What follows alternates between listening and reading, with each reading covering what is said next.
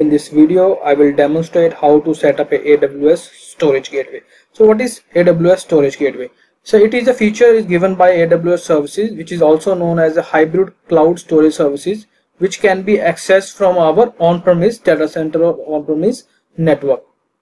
So we can basically use a storage gateway for the storage management and reduce costing of your hybrid cloud storage use cases. Just take an example if we have a particular bucket and I want that bucket to be accessed by a number of users from my on-premise data center or on-premise uh, network so I can use a AWS storage gateway which includes so you can move your backup from your on-premise to the cloud solution or you can share the files which you have on on-premise and use the AWS S3 bucket as a file sharing server. So this is a feature given by a AWS storage gateway. So what are the key features we have? It is a very easy to deploy and it is very fast to deploy. So it manages standard storage protocol which are NFS, SMB, iSCSI and iSCSI VTL. So it's a fully managed cache system. So local gateway appliance can caches in the return and read only mode. So it can be easily integrated with the AWS S3 bucket which we can use for to store uh, any particular file to backup any particular file up from our on-premise to our AWS S3 solution. So we can also use uh, this feature with the VMware high availability. If you have a very good solution of VMware infrastructure, so you can use this feature for your on-premise data center. So types of gateways we have. Number one is a file gateway, which we can use for the file sharing services and it's used the protocol called NFS and SMB. Number two, a tape gateway, which we can use for the virtual tape library, which use the uh, standard protocol called ISCI, iSCSI protocol. Number third is a volume gateway. It is for the presentation of application block storages, which used by a iSCSI protocol. So for example, if you want to backup any of your data as a snapshot. So you can use a volume gateway feature. So how it works? So on the left hand side you can see there is a, a column of on-premise and on the right side you can see the feature of S3 bucket. so under the on-premise we can use for the failing following types like a backup application database backup and file share for the file gateway. If you have any application server so which you dedicated want to migrate to our S3 solution so you can use the volume cache. Then third one is we have a tape gateway library which is for your backup application. For just take example of VM backup if you have uh, Acronis backup if you have any type of backup third party backup you can integrate with them and you can backup your data to AWS S3 storage. So so this is a small storage gateway scenario which I'm discussing with you. So we'll do the practical on this on the on-premise I have Linux machines and Windows machine and I want to share a S3 bucket with all my different type of operating system with Linux machine and Windows machine. So my users can put the data and get the data from the same bucket. So for that, let's log into our AWS solution. So you need to go to the search find and you can search storage gateway. So now let's start with the implementation. Click on get started. So you need to select a gateway type. So today i'm demonstrate a file gateway. Next. So this is the host platform. For example you have a microsoft environment which you have a hyper-v. So you can select a microsoft hyper-v. If you have a server from linux kvm virtual machine you can select it if you want to use amazon ec2 as a gateway so you can select a Amazon EC2. For today's practical, I'm using the VMware ESXi. Then I click on download the image. So it will download the image with the name of .ova.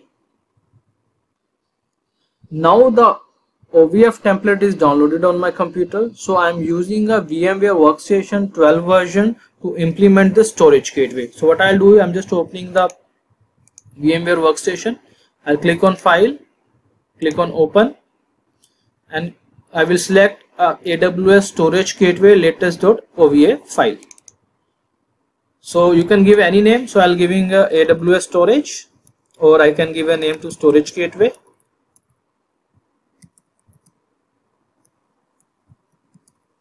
and click import so it will take some time to import the image once it imported it will restart your OVF template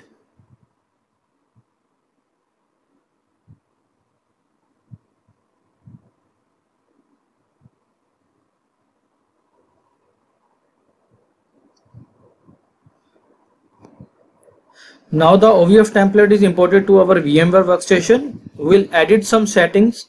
So we'll click on edit virtual machine settings and we'll add an extra hard disk to particular this OVF template or you can say a machine. Click on add. Yes, hard drive. Next. Recommended is as SCSIS. Next. So to create a virtual disk. I'll select a 80 GB. You can select any number. So this is the disk where you will store all the data so for this data or this drive will sync or cache with your AWS S3 storage gateway solution click on finish okay and then power on this virtual machine it will take some time to power on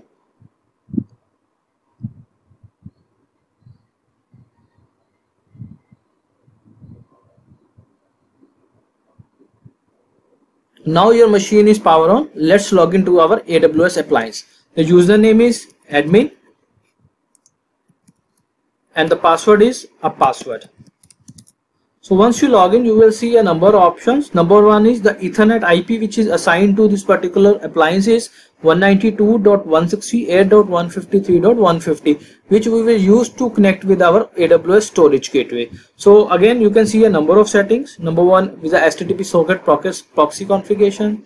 The number two, the network configuration. If you want to test a network connection, you can use the option called a three option then you can manage your system time management and license information and command prompt. So we'll select the option called 2 if you want to change the settings of your network card. Click on 2 and you can see there are a number of sub options if you want to configure for this for a DHCP if you want to assign a static IP address you can choose any of the uh, options. Otherwise you can exit. So now let's log into our or let's go back to our AWS console so now after the downloading of our ESXi image and we have implemented the appliance we'll go to next. And the service endpoint. So right now I'm using the public service endpoint because I'm not using any dedicated VPC so I'll leave this as a default. Click on next. So here I need to give the IP address of the our AWS appliance which we have set up on our local VMware workstation. I'll go going back to my VMware workstation. The IP address is 192.168.153.150. So I'll put it here and I click on connect to our gateway. It will take some time to connect. So once it connect, it will ask for the activation. So region our AWS region is Asia Pacific so you can select the gateway time zone to Asia Pacific only. So I'm selecting GMT plus 530 Bombay Calcutta region. And the gateway name I can give to uh, Asia storage or I can give my company name Think IT storage.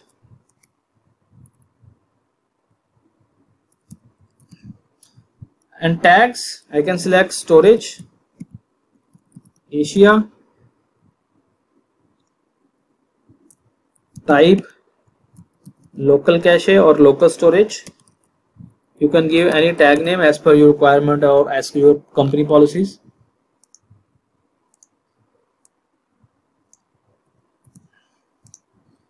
then click on activate this gateway it will take some time to activate the gateway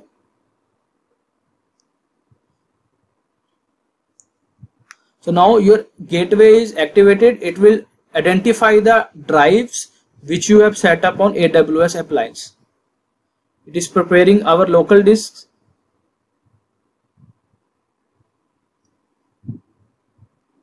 Okay, now your local hard drive is detected by a storage gateway which we have implemented in our AWS appliance. So we'll select allow to cache or unallocated. We select the cache one and click on configure login.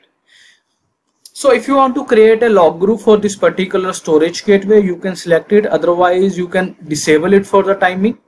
So we can recreate after we set up all the things on storage gateway. So right now i'm using a disable login and click on exit. So now you can see my storage gateway id sdw0208 echo fish 6b is up and running so now what i have need to configure is a file share. So i'll click on create a file share. So i'll just exit from here. So you have three options. Create a file share from this create a volume or create a tapes. So right now i'll click on create a file share. And if you have already have the s3 bucket you can use that same s3 bucket or you can create a new s3 bucket also. So i want to create a new one so what i'll do i'll go to the services and i click on s3 so i'll create a new bucket for my local users which i have in in-house. I'll give a bucket name think it on premises the region is Asia Pacific next next next and I will create this bucket. So I will use this bucket which is known as thick I thick think IT on premise for my storage gateway. So I'll copy it from here. I'll give the name. My file share name is also think IT on premise. If I want to give a dedicated name like uh, cloud storage I can give that. Otherwise I will leave as a default one. So I'm giving a cloud storage. So how you want that object of this particular S3 bucket can be accessed you can use a SMB server message block or you can also use a NFS so NFS is also supported by a Linux operating system Mac operating system or also supported by a Windows operating system. So I'm using this one. Then you need to select the gateway. So uh, right now I have only one gateway. So I'm selecting ThinkIT storage gateway. So if you want to select automated cache refresh from S3 after you can select the days otherwise leave as a default click next so it will validate all the settings and last thing we need to set up here how you want to store the data you want to store a standard or intelligent tiering or standard IA or S3 one zone. So by default, it's always select S3 intelligent tiering. So I'm selecting the same one, leave as a default. And I will leave all the option default. It will create a new role automatically. If you want to create yourself, you can also create and use the existing one. Otherwise, leave as a default. It will create a role IAM role for this s3 bucket automatically. And it is by default using a s3 managed key encryption. So that's mean the data you are copying to the s3 storage gateway or aws appliance or using nfs is always an encrypted one. So you don't need to worry about the data encryption. Click next.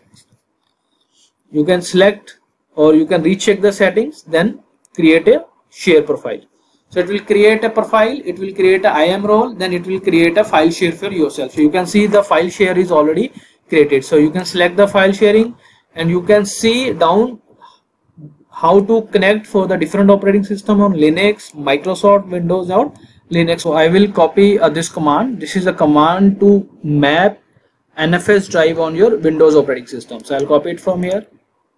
I'll go to my command prompt, right click then after space I have to give the drive name. So it should be on the capital side. So right now I'm giving E drive then double colon enter. So you can see E is now successfully connected to IP address 192.168.153.150 colon backslash cloud storage.